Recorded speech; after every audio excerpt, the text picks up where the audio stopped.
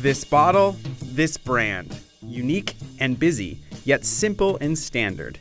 You might have seen it, you might even use it. But have you ever read it? The Dr. Bronner brand is the top selling organic soap company in North America.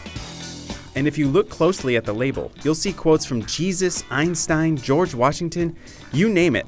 You'll also read a lot about the moral ABC, the brainchild of Dr. Emanuel Bronner, the founder of Dr. Bronner's Magic Soaps. Born into a Jewish family in Germany, he immigrated to Milwaukee in 1929 and worked as a consultant for various soap companies. But his real passion was philosophy. He had a vision for world peace, and he called it Moral ABC.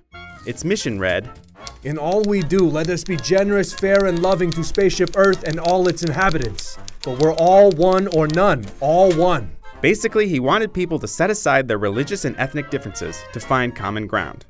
During World War II, Bronner began lecturing and spreading his vision for peace and unity, and he started drawing crowds. In 1947, during one of his lecture tours, Bronner was arrested for giving a public speech without a permit.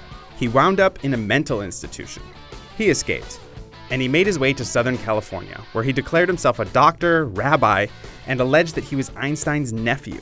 It was during this lecture tour that Bronner began giving his family's soap away. He quickly realized people were only coming for the free soap and leaving before the lecture.